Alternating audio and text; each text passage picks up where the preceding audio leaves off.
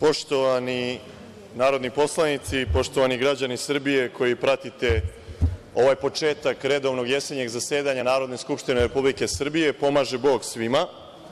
Izuzetno mi je bilo drago slušati u Domu Narodne skupštine Republike Srbije srpsku himnu Bože pravde i lepo je čuti da mi ovaj naš poslanički rad počinjemo molitvom, jer ne zaboravite, himna Bože pravde je molitva. Ono što želim pre svega da pitam predsednika Srbije Aleksandra Vučića jeste ko ga je ovlastio da pregovara o Kosovu i Metohiji? Dakle, ja se ne sećam da je za ove dve i po godine aktuelnog saziva Narodne skupštine Republike Srbije ikada tema Kosova i Metohije došla na dnevni red, a ja ću upoznati građane Srbije šta su, recimo, naše današnje teme dnevnog reda. Očuvanje afričko-evroazijskih migratornih ptica vodenih staništa, zaštita i održivi razvoj Karpata i očuvanje populacije slepih miševa u Evropi. Dakle, to su prioriteti Vlade Republike Srbije i Narodne skupštine Republike Srbije, a tema Kosova i Metohije, o kojoj govori čitav svet, dve i po godine ne može da dođe na dnevni red aktuelne Skupštine. Generalni sekretar predsedništva Nikola Selaković je nedavno ustvrdio da je Aleksandar Vučić glavni pregovarač. Ja opet pitam koga je i kada ovlastio? Kada je u ovom parlamentu usvojena platforma na osnovu koje on može o nečemu da pregovara i uopšte da bude ovlašćen za to? Takođe, sam Aleksandar Vučić je juče izjavio da ne pregovara Toni Bler u njegovo ime o razgraničenju, korekcijama granica, podeli Kosova, priznanju nezavisnog Kosova, nego on lično pregovara. Ali, opet ponavljam, koga je i kada za to ovlastio? Drugo pitanje na istu adresu predsednika Srbije i predsednika Vlade Republike Srbije glasi – tražim javni demanti da opštine Preševo, Bujanovac i Medveđa kao deo državne teritorije Republike Srbije nikada nisu bile, niti će ikada biti predmet bilo kakvih pregovora o razgraničenju, korekciji granica, podeli Kosova i Metohije ili bilo kakve razmene našeg za naše.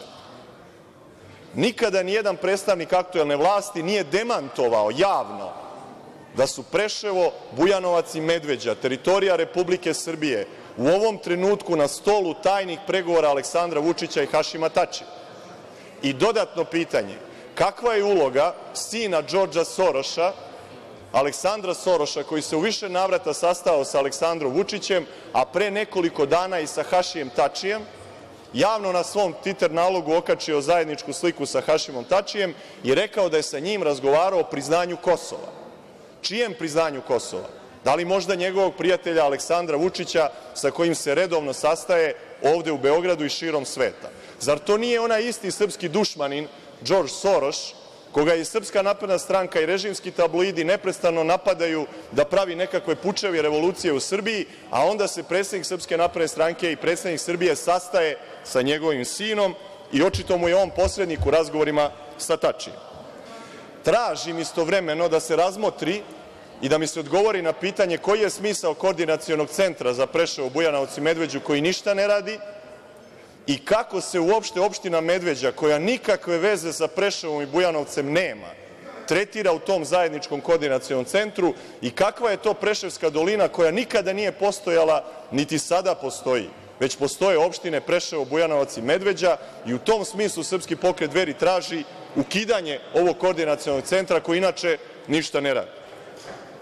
Veoma važno pitanje za predsednika Vlade Republike Srbije je ko je ministar kulture u Vladi Republike Srbije? Da li je to Vladan Vukosavljević ili je to Željko Mitrović? Jer kada je Vladan Vukosavljević sa pravom kritikovao rijaliti programe koje treba zabraniti, ukinuti, oporezovati i na svaki drugi način sprečiti da truju i raspamećuju ovaj unesrećeni narod, stao protiv rijaliti šoua i predsednik Vlade i ministar vojske i policije, što je posebno zanimljivo, stali su na stranu naravno Željka Mitrovića kao pravog ministra kulture, odnosno nekulture u Srbiji. I konačno pitanje za Agenciju borbu protiv korupcije – da li je Srpska napredna stranka u drugom krugu predsedničkih izbora 2012. godine oprala 246 miliona dinara koji su uplaćeni na račun fantomske marketinške agencije koja nije ni upisana u APR i ne postoji, a koja je, odnosno da li je, pitam, vlasništvo kuma Aleksandra Vučića, Gorana Veselinovića i da li je na taj način u privatne džepove od državnih para prebačeno dva miliona evra?